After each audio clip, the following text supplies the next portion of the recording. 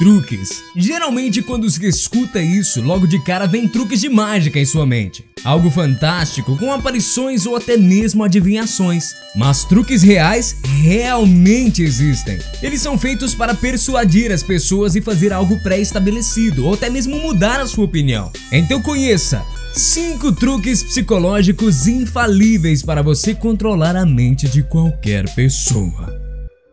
Aceno com a cabeça. Esse parece até bobo, mas acenar com a cabeça é muito eficaz em influenciar a concordância de alguém. Mas como isso acontece? Algumas pesquisas científicas nas áreas apontam que quando se acena com a cabeça para alguém em meio de um diálogo, a pessoa se torna mais suscetível a concordar, porque quando se faz esse movimento, o ouvinte repete o movimento na maioria das vezes e fica assim aumentando as chances da pessoa concordar. Bom, para relacionamentos, essa técnica aí, né? Falso mentiroso. Tem um ditado que diz: a mentira tem perna curta. Certeza que já ouviu muito a sua mãe falar isso. Muitas das vezes é verdade, mas quando a pessoa mente demais e mal, esse ditado dá uma mudada. Quando uma pessoa mente muito e faz isso mal feito, quem estiver à sua volta passa a acreditar em você quando a mentira for mais realista. A tendência de alguém acreditar em você é maior. Quando a pessoa mente muito ao ponto de ser sempre questionado quando alguém pergunta o que ela está fazendo, por exemplo, qualquer resposta será duvidosa, mesmo que ela seja verdadeira como por exemplo, o que você está fazendo? E a pessoa responde, fumando droga. Mesmo que isso seja real, ela não vai acreditar, pois vai encaixar essa resposta nas mentiras mal feitas.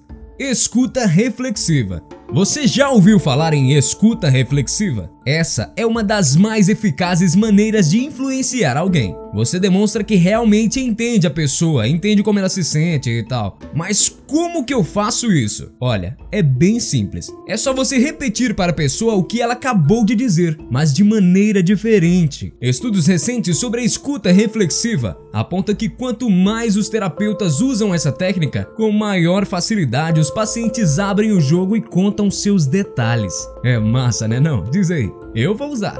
Ficar quieto. Em um provérbio oriental diz: o silêncio é ouro. Mas é bem isso mesmo na verdade. Um autor chamado Dale Carnegie escreveu um livro bem massa sobre isso, chamado How to Win Friends and Influence People, ou em português, Como Fazer Amigos e Influenciar Pessoas. Ele diz que é muito desnecessário bater de frente com a outra pessoa, dizer que ela está errada e essas coisas. Na verdade, você deve usar uma técnica foda criada por Ray Ransberger e Marshall Frintz. Essa técnica consiste em três passos. Primeiro, você deve ouvir calado. Segundo, você tenta entender o ponto de vista da pessoa. E terceiro, você tenta achar algo em comum entre você e aplica o seu ponto de vista. E voilá! Mesmo sendo totalmente diferente, a pessoa vai te ouvir e tentar te entender também. Você pode tentar corrigir sem discussões.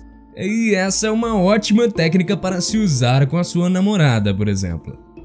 Psicologia reversa. Esse termo é bastante conhecido. Ele aparece em filmes e até em desenhos animados. Esse clássico dos truques psicológicos funciona bem assim. Com simplicidade de aprender, você só vai dizer o contrário que você quer que a pessoa faça. Por exemplo, quando estiver discutindo com alguém, é só dizer para a pessoa: Beleza, você tem razão. Desse jeito, a pessoa tem grandes chances de ficar com a consciência pesada e ceder. Outra maneira é você dizer: pode fazer o que você quiser, só não coma minhas balas. Nisso, a pessoa se torce de vontade de comer. E com isso, você tem o que deseja.